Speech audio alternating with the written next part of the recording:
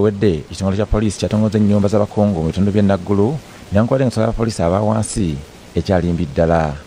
Kinajjukira nti gye buvuddeko embeera ya poliisi embi gyesulamu yawaliriza abakyala ba poliisi mu bitundu by'ekajjansi okwekalakaasa nga bakanya embeera embi gye bawangaaliramu kino kize kivumirirwa abantu ab'enjawulo mu bitundu by'eggwanga eby'enjawulo newankubadde ng'embeera eno ekyaganya okukyusibwako. Gavumenti naye etandika okubalowoozaako bafunireko webasula nga bategerekeka naye osanga akayumba akamabaati nga kasulwamu abasirikale kyenkana bana.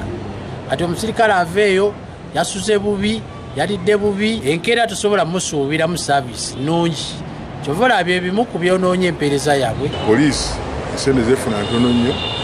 Mpulira nti kati bamaze oba n'emyezi tusukka mu esatu nga nekufuna tebazifuna ate be balina emundu n'obuyinza. Jjukira ti gavumenti ne bwerowooza nti ebayambeko balabeke nti batereera. Abali mu buyinza ate nga tebakoonwako ate bakola birala kubanga nzijukira bulungi nnyo waliwo enju ezazimbibwa nga zabapoliisi aba bulijjo. Basobole okusula obulungi basobole okulya obulungi alisi webakiko obulungi balabe nti ndo bakola omulimu. Naye tuwulira nti kati olwaleero ate abakulu bwe bazitwala so nga ate abakulu bali sapozi kusula walala.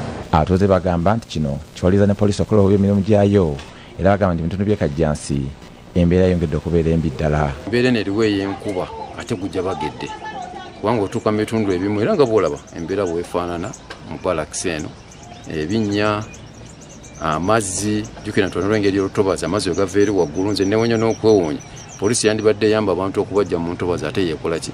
Yesula mu ntobazi so kibi nnyo kubanga abasirikale fe basulanga embaata. Saabaduumizi ba poliisi mu ggwanga martin bakosocola obuzibu bwonna agamba nti buvudde ku nsimbi entono poliisi zeefuna okudukanya emirimu gyayo nga kizibu nnyo mu kaseera kano okuzimbira abantu baayo ennyumba ennungi Chal- challenges of poor accommodation, inadequate human resource, and funding gaps remain outstanding. Fortunately, there is a deliberate focus on addressing these challenges.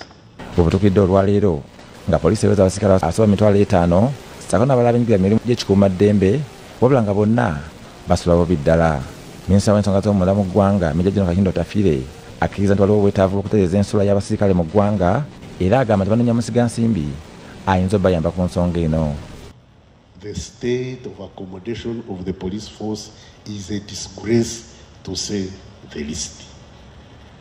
In fact, I'm surprised we still have police officers. People in you know, people are living in places I don't want to mention.